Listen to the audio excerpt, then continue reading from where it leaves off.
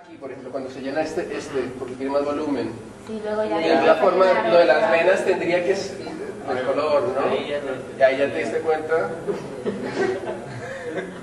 Entonces, Puma. y ahora. Encargar la bomba. Ahí está. Es un motor de parabrisas de coche. Está conectado, aquí tiene un relay.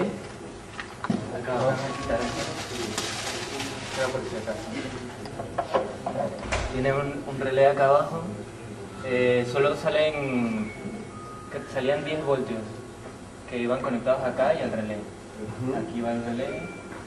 Que más el sensor, El de, sensor luz, de luz. Se baja por acá. Este es el switch para prender o apagar la Fuente. la fuente. Y ya. Ah, de la fuente. Cuando necesitan mover